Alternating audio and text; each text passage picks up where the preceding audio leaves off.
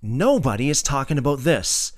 This photo is a still shot from a video taken from Evangola State Park in New York. The camera was pointed toward Port Colborne, Ontario, Canada, over Lake Erie. You will notice a few structures behind the horizon. Notice a couple of buildings on the left and a couple of towers on the right.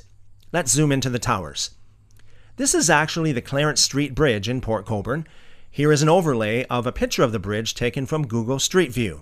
We know this is the bridge because there are no other structures in Port Colborne that fit the profile, and you can actually see a shadow of the antenna on the right tower.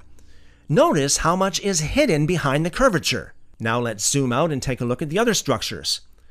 These two buildings are actually just the top portions of the ADM milling buildings in Port Colborne.